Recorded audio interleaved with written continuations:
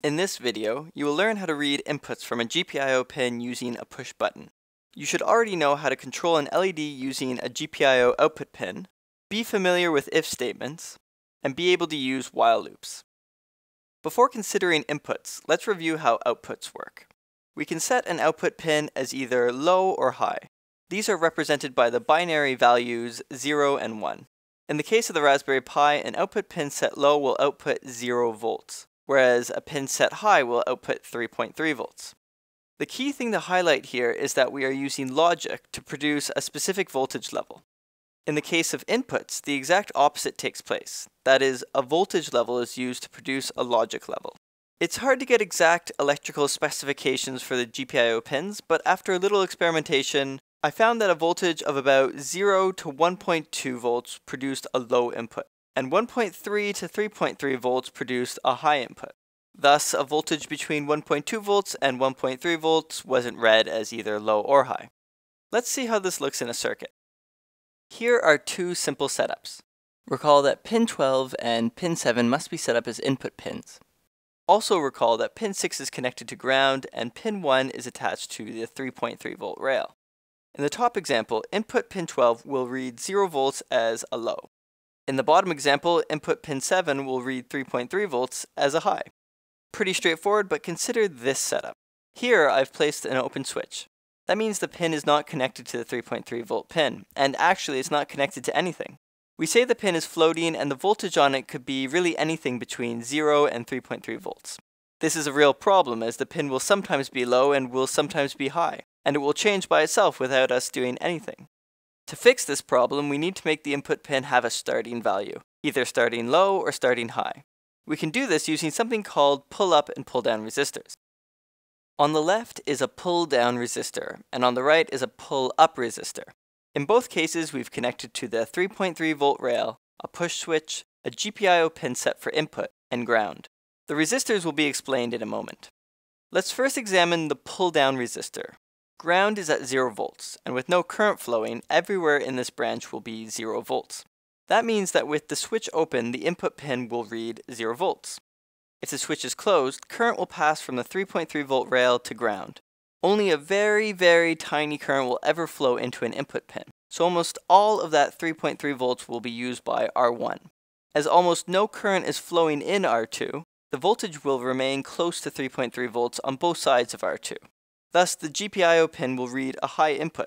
This is perfect. When the switch is open, the input pin reads low, and when the switch is closed, the input pin reads high. Never do we have a floating value. For the pull-up resistor, with the switch open, we have no current and thus 3.3 volts at the input pin. When the switch is closed, 3.3 volts is used by R1, thus the voltage here is 0 volts, meaning the input pin will read a low. So this is similar to the pull-down resistor, only with high and low swapped. About the resistors, the 10 kiloohm resistors are needed to limit the current from 3.3 volts to ground. The 1 kiloohm resistors, on the other hand, are not necessary. They serve only to protect the GPIO pins in case it is mistakenly set as an output. For instance, if this input was set as an output at 0 volts, a very large current would pass from the 3.3 volt rail to the GPIO pin, likely damaging the pin. Note also that a pull-down resistor gets its name from pulling the GPIO pin initially down to 0 volts when the switch is open, and a pull-up resistor gets its name from the voltage being pulled up to high when the switch is open, in this case to 3.3 volts. You may be happy to know that you don't need to physically attach the pull-up or pull-down resistors, as you can configure the Raspberry Pi's Broadcom chip to set a pull-up or pull-down resistor internally. Let's see how that's done. As always, we make sure to import the GPIO module and set mode as gpio.board. To set up the input pin, we will use three arguments. The first is the pin number. Here I've chosen pin 11. Next we need to set it as an input pin. We can stop here, but if we wish to use an internal pull-up or pull-down resistor, we can define that in our third argument. Here, this indicates that we want to use a pull-down resistor. For a pull-up resistor, the code would differ only slightly.